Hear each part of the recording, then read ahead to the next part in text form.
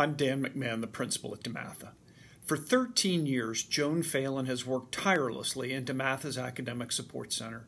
She is the embodiment of the one woman schoolhouse, able to help students in any subject at virtually any level, and perhaps more important, she teaches them to succeed on their own.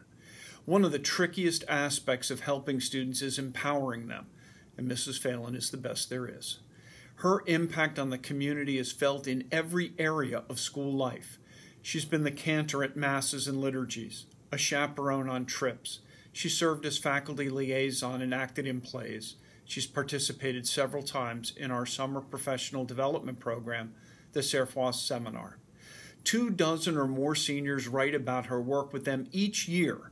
She has appeared at school the day after Thanksgiving and the day after Christmas to help students who need help.